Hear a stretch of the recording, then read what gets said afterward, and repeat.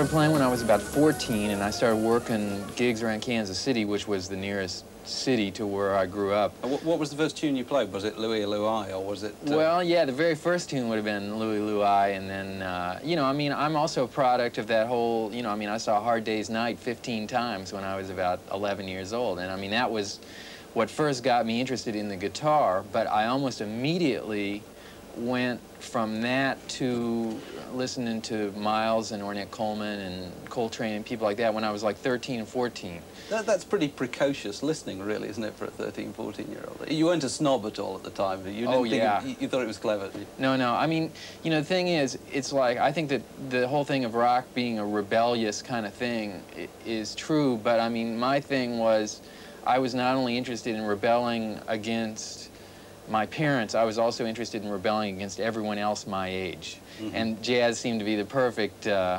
perfect way to, to express that. I mean, at this point, my, my level of uh, involvement to jazz is much more than just rebelling against anything. I mean, uh, as, you know, a few years went by, uh, I got involved in the jazz community around Kansas City and saw it more for the incredible tradition that, that it is. And uh, I mean, you know, I have to say my main love is playing like, you know, jazz standards and, and that sort of thing.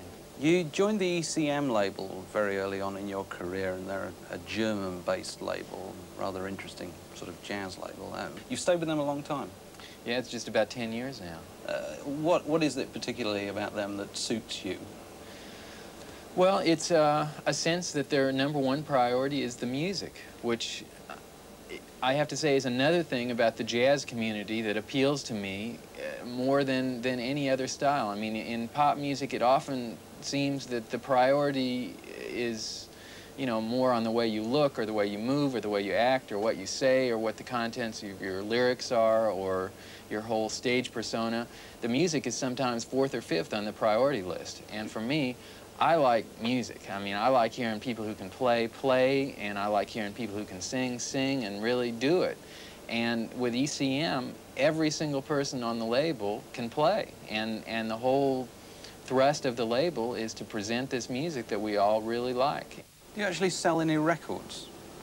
We do, I think, real well by jazz standards. In fact, I think in the jazz world, we're considered, you know, like uh, exceptionally successful On the other hand, I mean, if we were a rock and roll band, I mean, we'd probably be dropped by nine or ten labels by now. I mean, you Mhm. know, it's like if you sell several hundred thousand records in the jazz community, I mean, people think you're like gigantic, you know. Do you ever get played on the radio in the States?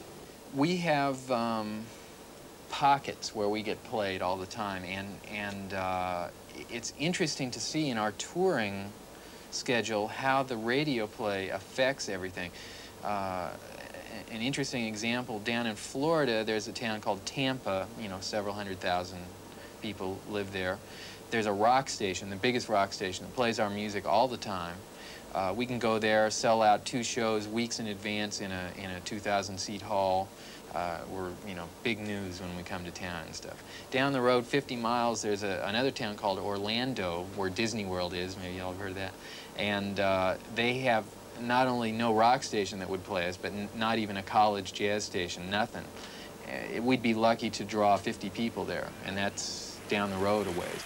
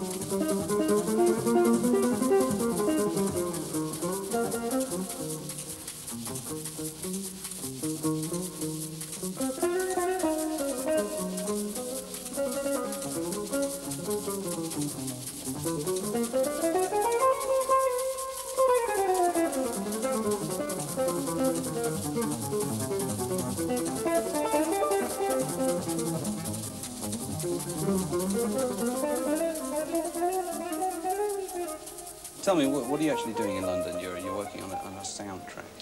Yeah, we're doing the score for uh, John Schlesinger's new film, The Falcon and the Snowman, which stars Timothy Hutton and Sean Penn. Now, you're, you're surrounded here by equipment that seems like a cross between musical stuff and something you might find behind the counter in a bank. Um, you know, checking your balance. Yeah. Well, what does this stuff do? I mean, what are you doing here? Are you recording or rehearsing or, or writing or what? At this stage of the game, we're about three weeks away from the beginning of the official recording of the score. So Lyle Mays, my writing partner, and I are here. Lyle's in another room down the hall here. We're both, at this point, just coming up with the basic themes, the beginnings of timings for the cues and everything. So you have a video of the film. we have so a video that at we look on back here. And they tell you which bits they want music for. Exactly. And then what all this other stuff does is that it's kind of like, um, it's sort of like the invention of the electric typewriter for a, a writer. This is the same for a musician. It allows me to, to do 16 tracks of, uh, of recording within the guitar and the keyboard and then kind of hear all the parts together and say, well, I want to change that, or it should be a little faster, it should be a little slower, that kind of stuff, and it allows you to do it very quickly. So And, uh, demonstrate. well, first, maybe I'll just play a few sounds that it can make. I mean, for me, obviously, being a guitar player, one of the exciting things is just that now, all of a sudden, I can get all these wild sounds from the guitar instead of from a keyboard. Like a trombone. Uh, like here's a harmonica.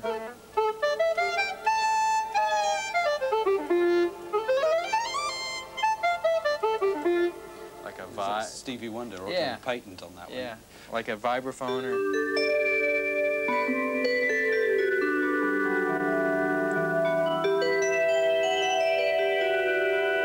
So, so what do you do? You put it, you program it into the, um, I'm probably using all the wrong terms, but never mind. Yeah, you basically, you can record a bunch of things, then if you want to see it written out, it'll write it out for you. So it'll actually write the music. Uh-huh. Well, no, I should say that. It'll copy What what you've played and then translate that into musician terms. So you could then pass it on to a, a session man who could, yeah, could play more or less exactly transpose it for did. him and everything. Can we see that? Yeah, it's going to take me a second just to put in a new disc here. Presumably you've had to learn a lot about this kind of equipment recently. Yeah, I mean, I'm not a computer kind of guy at all. And uh, they give you a real hefty manual that uh, you just go through it until, you know, you understand it and then keep referring back to it. And it's designed for people who are not uh, computer types. you know. So I'll do this from the keyboard. It's just a little easier. I'll just play in a three-part thing, a bass part, a chords, and, and a harmonica, and then I'll have it printed out.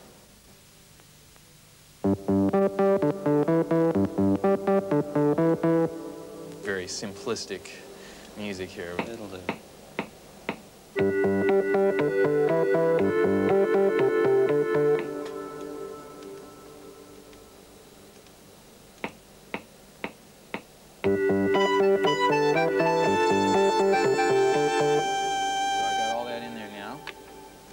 Button.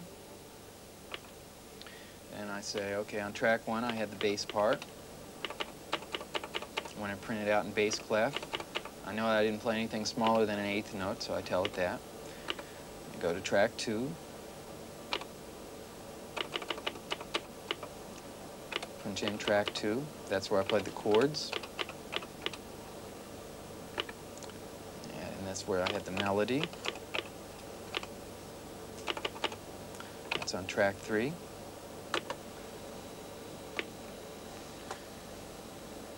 It actually displays And what now it's done. writing out what I played.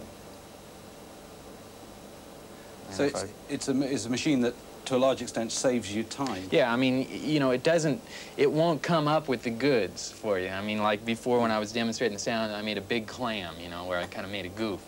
And it, it's going to write out that goof in big letters, and you can say, you can see, well, gee, I made a goof there. It doesn't fix anything, but it'll help you, you know, see quickly what you've got and then change things.